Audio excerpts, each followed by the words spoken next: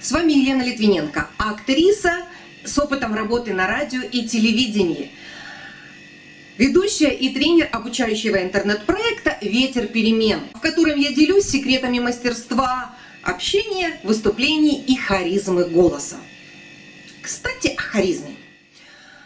Такое отвлеченное понятие харизма, что бы оно значило? И почему есть оно не у каждого, но каждый хотел бы его иметь. В переводе с греческого, как я выяснила, харизма означает милость, дар.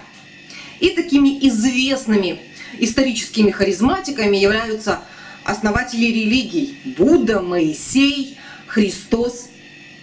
Ну, коль это дар, то будем считать, что этим людям он был дан свыше и в полной мере. Однако исследователь феномена харизмы Лаура Роуз выяснила, что оказывается в каждом из нас внутри есть некие такие зерна, предпосылки для развития харизмы. Тогда возникает вопрос, что конкретно надо развивать?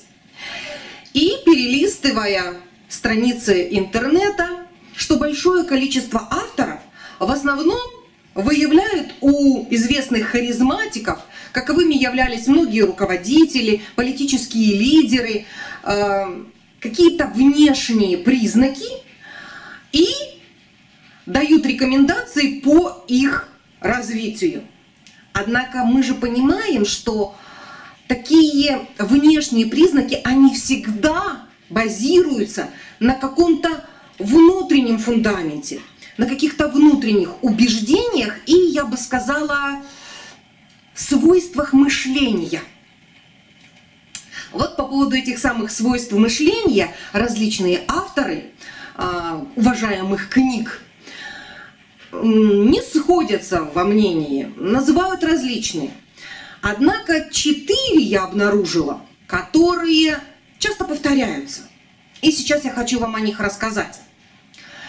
Первая из них – это позитивизм мышления.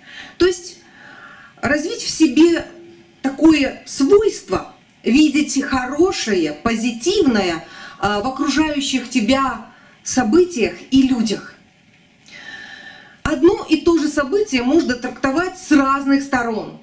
Так вот, надо найти, что же в нем есть хорошего – если это событие произошло где-то далеко, пусть оно негативное, то отличное убеждение, зато в моей семье, в моем маленьком мирке все хорошо. И поскольку вопрос харизмы интересует меня давно, то я, естественно, что такое свойство мышления в себе уже выработала. Сколько ушло у меня на это времени, я не могу точно сказать. Но думаю, что не меньше, чем несколько месяцев. Что касается второго свойства мышления, то оно мне далось достаточно болезненно. Потому что, будучи человеком эмоциональным, еще в юности я очень сильно переживала по поводу того, когда э, люди негативно оценивали мою внешность, э, мои действия, плоды моего труда.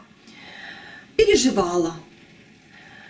Но, к счастью, в тот момент э, у меня на пути встретился один взрослый мудрый человек, который мне сказал такую вроде бы банальную фразу, однако которая упала на уже подготовленную почву. Он сказал вот что. На всех не угодишь. По этому поводу, кстати, знаменитый баскетбольный тренер Джон Вуден говорил так.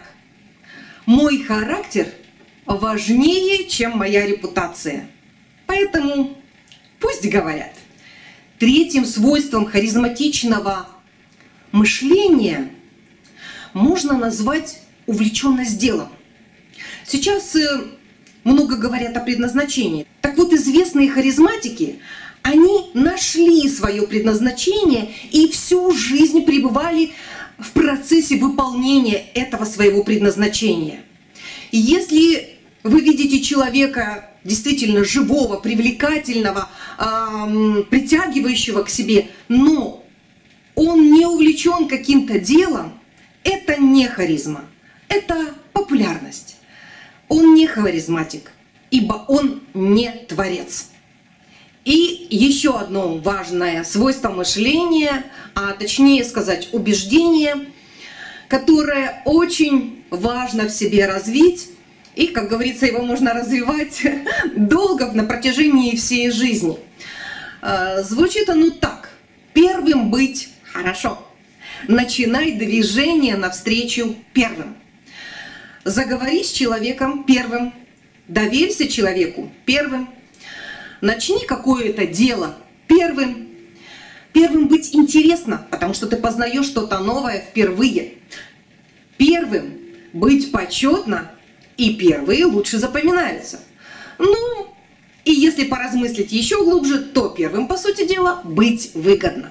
Вот они, эти четыре свойства убеждения, о которых мне хотелось сегодня вам рассказать. А вот о том, как они проявляются внешне, как их можно отследить на людях, я расскажу вам в следующий раз. Впрочем, тут, пожалуй, рассказать труднее, чем показать. И я постараюсь вам это показать. Так что до встречи в следующем видео.